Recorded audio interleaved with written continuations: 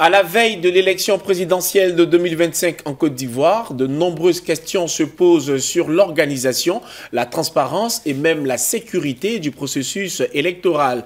Que répond donc la commission électorale indépendante à ces interrogations? Cette question, mesdames et messieurs, sera au cœur de ce nouveau numéro de C'est-à-dire, avec pour invité M.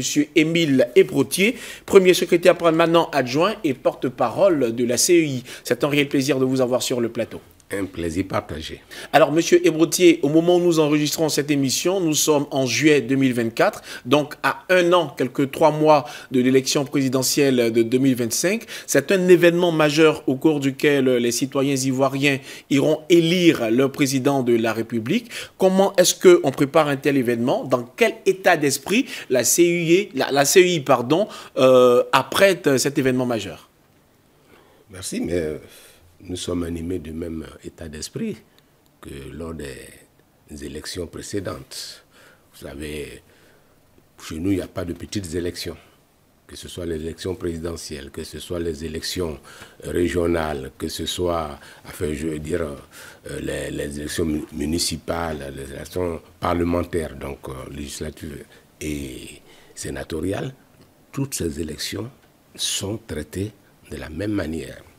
Et pour vous le dire, en prélude de, ces élections, nous avons déjà commencé depuis euh, le mois dernier, nous avons terminé une tournée de sensibilisation. D'accord. Où nous sommes allés vers les principaux acteurs des élections, qui sont les électeurs mm. et qui sont les candidats. Mm. On ne connaît pas les candidats, mais les éventuels candidats. Et comme nous sommes tous des potentiels candidats, tant que nous remplissons les conditions pour être candidat, euh, nous sommes allés vers ces personnes-là et nous avons expliqué que aller aux élections, ce n'est pas la guerre, c'est une compétition. Et il est de bon ton et de bonne loi que nous soyons dans des dispositions pour compétir, mais non pour nous détruire aller aux élections, ce n'est pas la guerre, mais avant celle, de avant celle de 2025 que vous êtes en train de préparer, la Côte d'Ivoire a quand même connu des, crises. Ce sont notamment euh, celles de 2010, 2015 et 2020. Qu'est-ce qui n'a pas marché finalement pendant ces années? Mais Écoutez, euh, ce qui n'a pas marché, c'est la même CEI.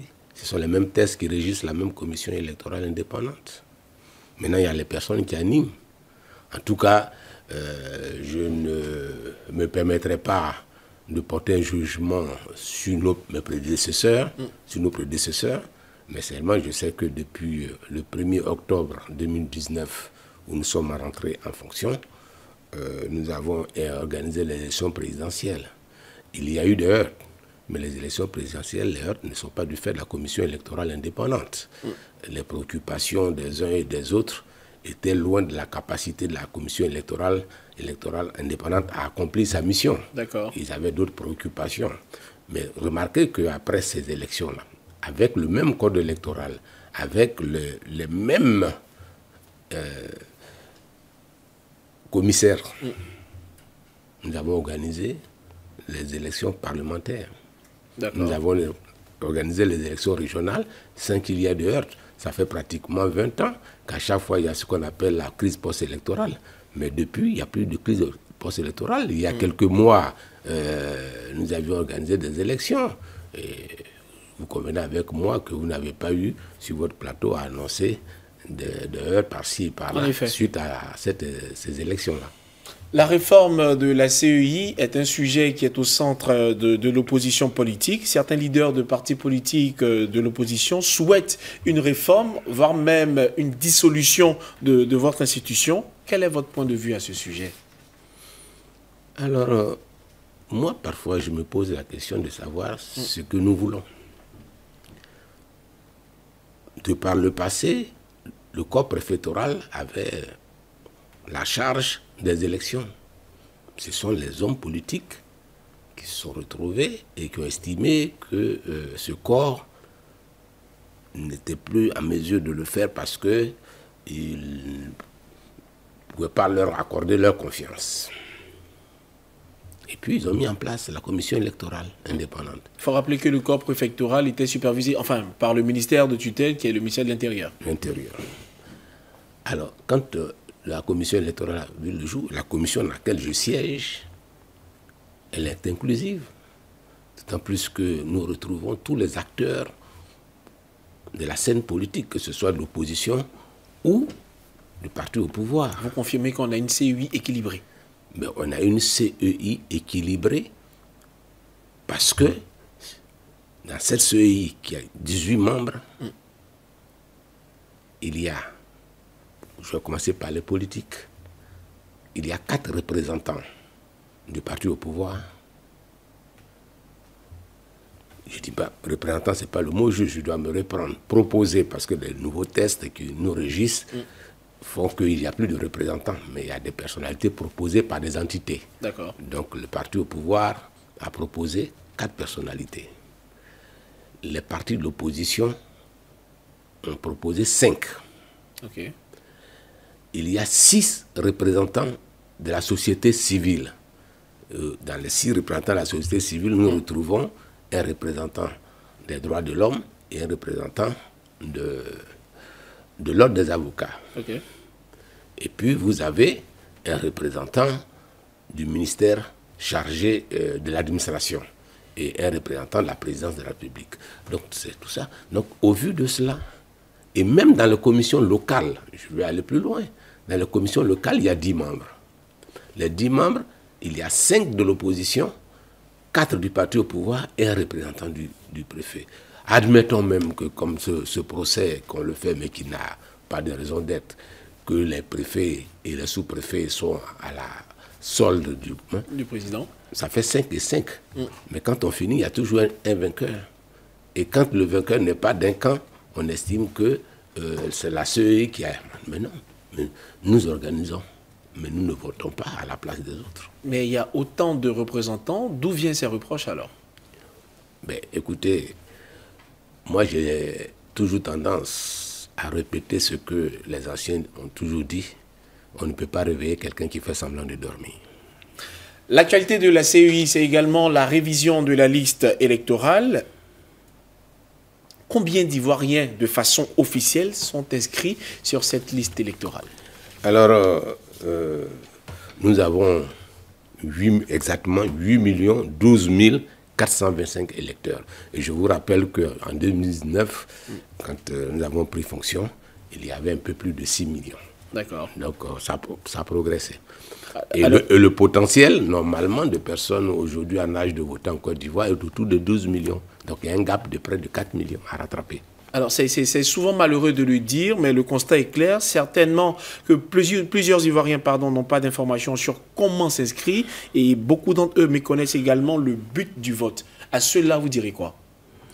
Mais il y a deux acteurs principaux au niveau pour les élections.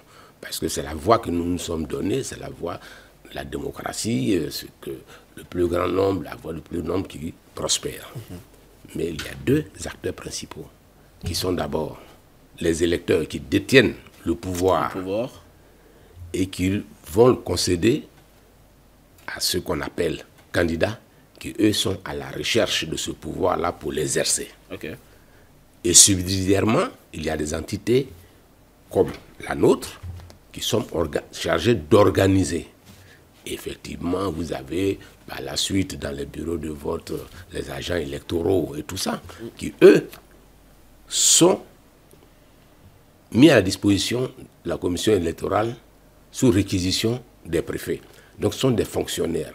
Donc c'est vous et moi qui avions la qualité de fonctionnaire dans une zone qui sommes réquisitionnés et mis à la disposition. Sans que le préfet, bien entendu, indépendamment du matricule dont il est, est instruit, sache vous êtes de, quel bord politique ou pas? Parce que pour entrer à la fonction publique, je ne pense pas qu'on demande, euh, aussi bien on ne demande pas la religion, mais on ne demande pas de quel bord politique. Voilà. Donc le préfet, quand il prend sa réquisition, il le prend au niveau des matricules. Et ce sont ceux-là que vous retrouvez dans les bureaux de vote.